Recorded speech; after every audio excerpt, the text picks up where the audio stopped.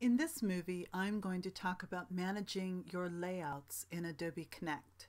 So as a host, and I'm logged into my own room here as a host, you can see that vertical bar on the right hand side has my layouts in it. So there are different uh, pages that you have set up, different layouts. There's no real better word for it.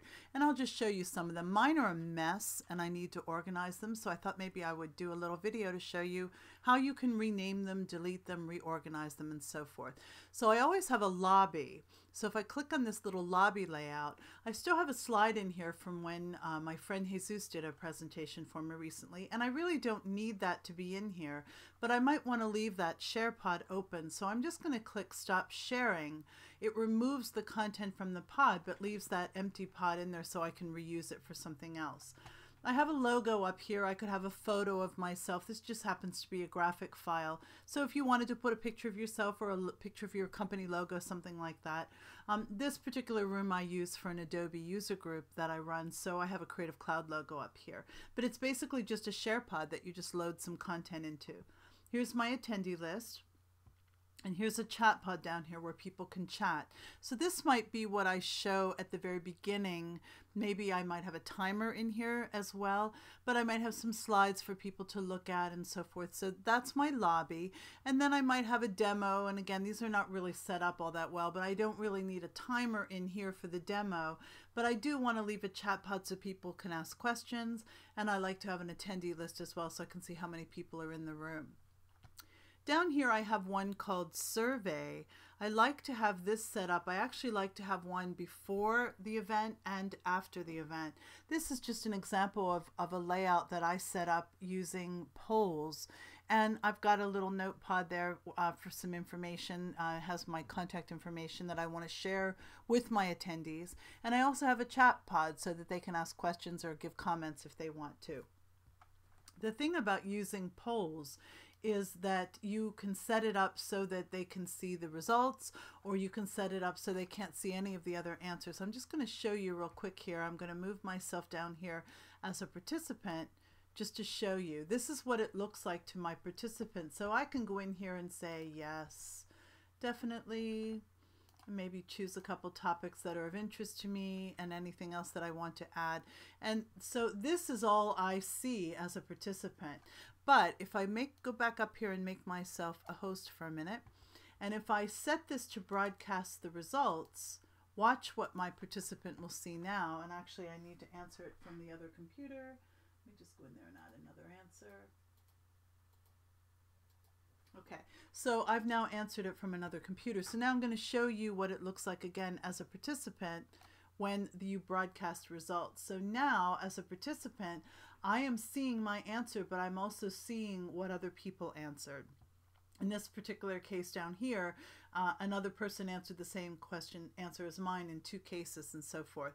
So by choosing that broadcast results, it allows people to see what other people have answered. It doesn't tell them who answered, but it allows them to see it. That can be good or bad. It can also influence their answers. So what I tend to do is to not broadcast results until almost everyone else has answered. But this is a great way to use a layout to put some uh, some things on here, some polls to ask people maybe before your event and after. If you want to place text on here, the only real way to do it is to use a notepad because it does allow you to resize it. It allows you to um, change the color and so forth. So uh, to put a message like this, this is just simply a notepad. But this is how you can go in here and see all of your different layouts. Here's one that I don't need anymore. I might want to get rid of it. So what I can do, if I hover over it over here in this little layout menu, I can delete it right from here by clicking on that little X. But I can also go up under the layouts menu and go down to manage layouts.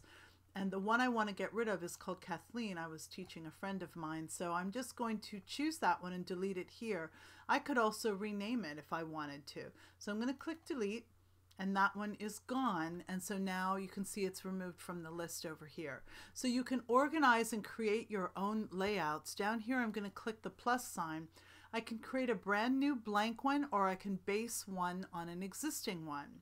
So I'm going to choose to make a brand new blank one and I'm just going to call this um, dem demo 2.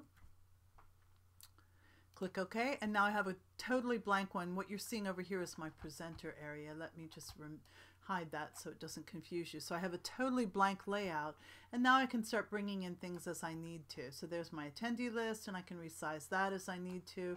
I can bring in a chat pod, either the existing one or a new one. And there's a little bit of a snap here that when I try to organize things, you have smart guides. Maybe I want to have a share pod so that I can bring in my notes and other things down here I might want to add or maybe I just want to pull this all the way down. So then I can just go in here and reorganize my layouts as I see fit. So you can use this menu over here on the side. You can also use the drop down menu up here for layouts. And one final thing is that you can go into prepare mode. If you click this little gear down here at the bottom, I believe there's an option up here as well, switch to prepare mode.